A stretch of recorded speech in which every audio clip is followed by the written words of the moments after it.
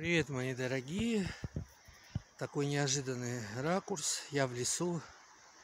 Первый раз в этом году. И, наверное, последний чувствую. Собираю грибы. У нас ураганный ветер до 20 метров. Плюс 8-9 градусов тепла.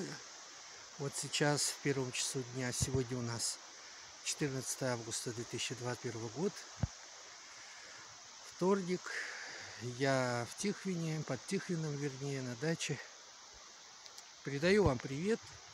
Из Осетии я уехал. Теперь дачный сезон закрываю, помогаю родным и близким. Передаю вам привет. Вот такой красивый вид за мной.